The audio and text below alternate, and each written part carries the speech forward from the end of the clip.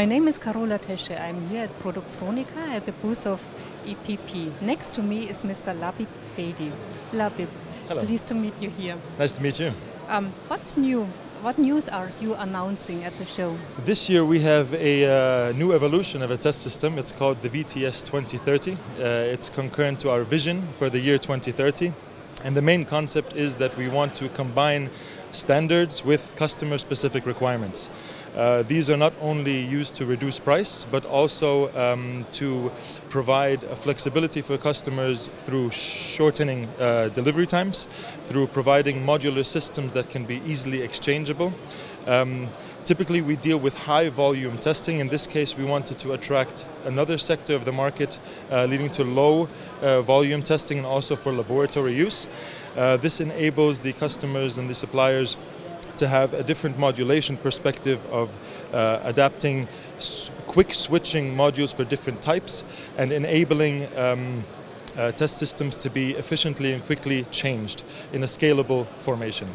Um, this test system uh, has um, cost a lot of time and dedication and development costs and a lot of experts got together to put their information to see how can we combine all the good things in the industry um, to make it affordable to make it lucrative in case of price delivery time and also uh, uh, um, scalability. Um, this is uh, what we typically want to introduce into the market because we realize that a lot of customers have different demands. And in these different demands, everyone has a tendency to prefer uh, different equipment from different suppliers. So we said the standard is we have a pylon interface enabling various adapters so that our test systems and the interface uh, uh, uh, help or give an incentive for the supplier to choose any adapter he wants and it still fits and works on the adaptation. So essentially, it's to maintain. Um, and give uh, the test systems durability and also to let the customers know that uh, they can save money, they can save time, and they don't have to focus on 10 different suppliers. Uh, instead, they focus on one standard. And which target group are you addressing? Um, uh, the target groups don't change so much. We're typically 80% to 90% in the automotive industry. Uh, medical industry is coming and going. Um, uh, their focus is on different aims because medical industry are injections into the body, so a lot more documentation, paperwork, and restraints have to be uh, uh, uh, carried out and done. So a lot of paperwork. Um, household appliances uh, are, are also an interest, but typically um, we want to provide as much diversity as we can uh, in the core competence of our belonging. And which development in the market you are predicting on a technical or a commercial? Uh, there's a lot of developments taking place lately, um, a lot uh, towards um, virtual reality, uh, augmented reality. Uh, a lot going towards digitalization. Uh, we discussed in the interview two years ago that Industry 4.0 is coming. Two years later, it's still in the phase of Industry 4.0, and um, things are becoming more and more connected. Uh, another point is also autonomous drive, um, where the cars are smart integration and have to know, uh, have to communicate with one another without the manual interaction of human beings. So these are some of the challenges that uh, a lot of the experts in the market still have to work with.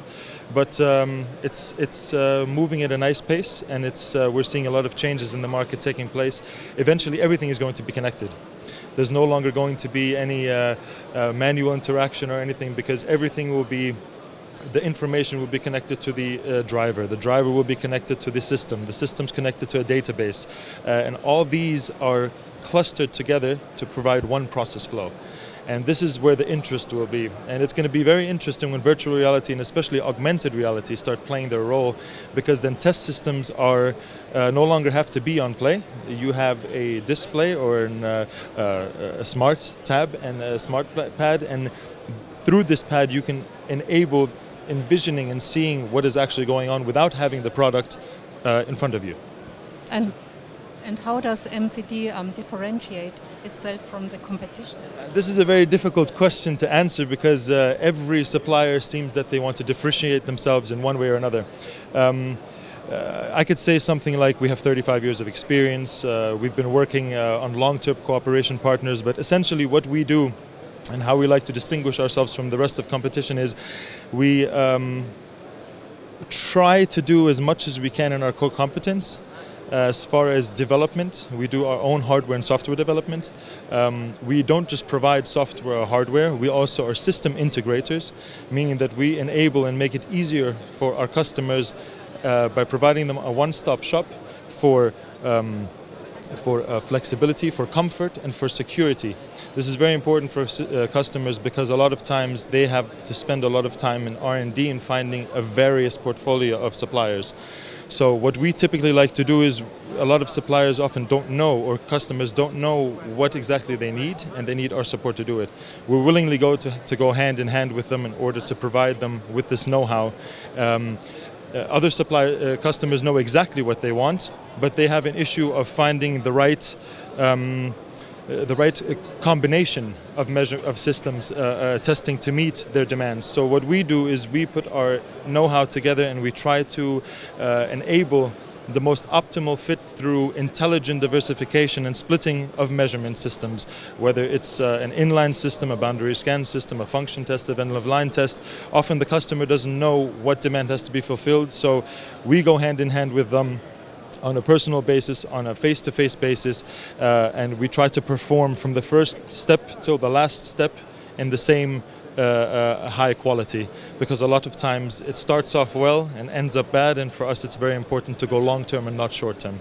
Okay, thank you very much. Thank you very much for your time.